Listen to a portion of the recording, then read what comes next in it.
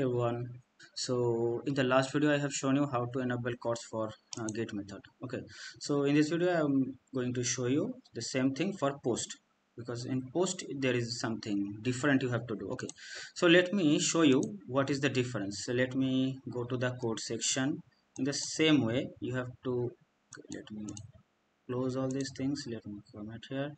You please open this one. Copy the code okay this is very simple code but copy it uh, so that you would not get uh, I mean like any uh, unnecessary error or okay so just paste it at here. Deploy the code. Let's see if it is working properly or not. Okay save this one close this one come to this post. Okay now copy this function url and test it if it is working properly or not. Okay as we have did in the get method also. So yeah the post call is also working now. Now we are going to uh, I mean like open the CORS. Okay enable the CORS. So for that what we have to do same thing as we did in get we have to change the URL at here for post. See what I have did again I'm telling uh, go to this UI to test CORS for post call. Okay go to this index.html change this u this url to your url how you do get the url from here okay. Okay. So fine. Uh, so i have changed it. Let me now check if it is working properly or not. It would not work but i am showing you. Okay.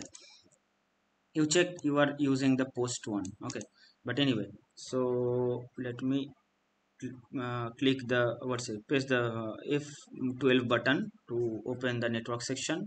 Let me hit the test. Okay so see I didn't uh, see one thing uh, let me tell you. In the configuration you see the CORS is enabled. See uh, where it is yeah. CORS is enabled okay. Oh, yeah. And also uh, all all the things that we have did in get that is also enabled. Okay. But it would not work.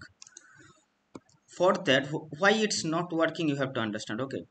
Uh, also it is uh, mentioned start so that's that doesn't, doesn't make uh, i mean like matter uh, get or post. So uh, it would allow all. But still it would not work. Why? Let me tell you. This is very uh, disturbing thing i must say. So the only reason lies like this one in the api and also this one in the what's it uh, api call. Okay so from html we are uh, in the, the jquery we are hitting this uh, api and we are mentioning content type application json. And from the uh, what's it post uh, API method in Lambda also we are mentioning it's a application JSON. So this we have to mention somehow. Okay, so what we have to do, you just copy it. Okay, whatever you are mentioning in header, you have to mention in the Lambda function. Okay, so you have to come at here and like you have see what is it expose header that means like what is written choose the http headers in your function response. Okay that means in your lambda function. And uh, choose the http headers that origin can okay so this one is the for lambda and this one is for uh, i mean like uh, from the html what you are uh, hitting. Okay. Anyway so you have to just you have to do this one nothing else. Okay. Also here click here. Mention it save it yes it would work so check. Yes it should work. Yeah so it's working. So our CORS is enabled. Now you do whatever you want in this uh, code function uh, code section. You change the code to suit your need and uh, it would work. Okay so in my next videos i would uh, show you some real life example how i mean like maybe scrapping and all like how to get the data from s3 and all. So yeah in next videos i would mention all those uh, ways how how to I mean all those codes and how to do it. Okay. Yeah thanks